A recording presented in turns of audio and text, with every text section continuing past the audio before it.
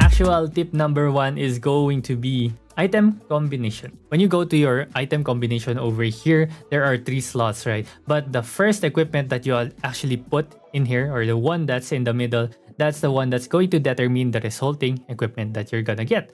So what's really important here is that you want to farm your Farakel dungeon. So if you go to your raids in three of Heroes, right? Elite three of Heroes will drop 6-2 equipments only will always drop or almost always. This one will drop 6-2 equipment, so 6 star a week 2 equipments which is actually very very amazing and of course if you've been spamming it you'll be getting a lot of coins and once you get these equipments don't even think about dismantling these ones